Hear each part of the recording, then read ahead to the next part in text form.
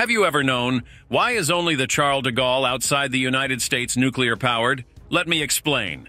The current French aircraft carrier, the nuclear-powered Charles de Gaulle, entered service on the 18th of May 2001. France's nuclear ambition powers the Charles de Gaulle, the only non-U.S. nuclear carrier.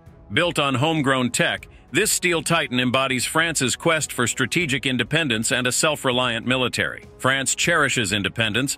Its nuclear-powered carrier, Charles de Gaulle, cuts the fuel cord, roaming oceans for longer, faster, and with less fuss. Nuclear power fuels the Charles de Gaulle's extended range. Unlike other carriers, it skips the gas station, roaming far and wide to project French might and aid global missions. France's deep roots in nuclear tech gave it the edge to build carriers powered by the nuclear. Their reactor know-how keeps the Charles de Gaulle sailing solo, a testament to French engineering prowess.